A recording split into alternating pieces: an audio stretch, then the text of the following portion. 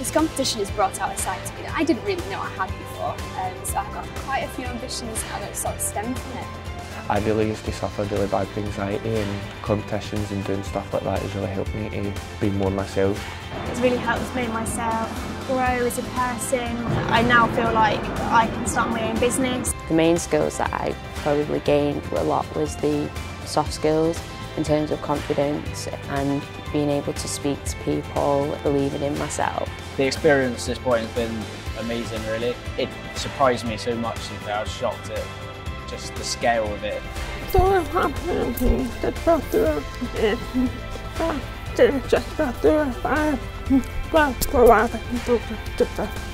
You learn discipline yourself and it's like a journey on what it's going to be like in the outside world really for work. That you, you know, the opportunities that you kind of get offered from the back of it are just opportunities you'd never think would be possible without, you know, the, the competition that you took part in.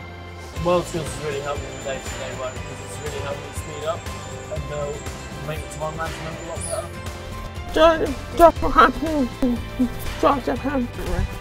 For me, the benefits of competition is that I have a higher quality of work. Our skills competitions are for everyone. Register today.